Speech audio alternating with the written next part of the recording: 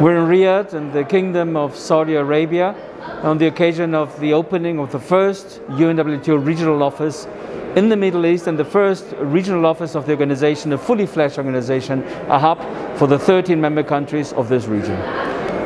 It's really about building trust. The Recovery Summit is organized against the backdrop of the opening of the World Tourism Organization's office for the Middle East here in Riyadh.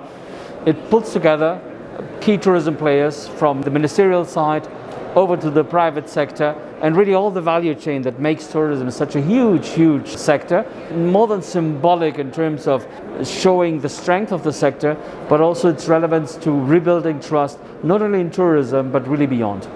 Well, it all boils down to coordination, and the fact that we're only stronger if we work together. And if there's a lesson out of the pandemic, if you fly solo, uh, you can only get uh, so far. And this is something the World Tourism Organization has been advocating from the very start. And tourism is really the sector which uh, by definition also can only function if we really work um, across borders. So talking about protocols, uh, measures, health passes, all sorts of regulations, you can't address them if you only think in national terms uh, within political boundaries. But of course, the regional approach is very relevant. And then we need to uh, build systems of various systems that will pop up around the world um, to talk to each other. It's pretty much um, my analogy is it's a, like an exchange rate system. You have different currencies, and these currencies need to talk to each other. So you need to define uh, the exchange rate. And this is pretty much uh, the way to go.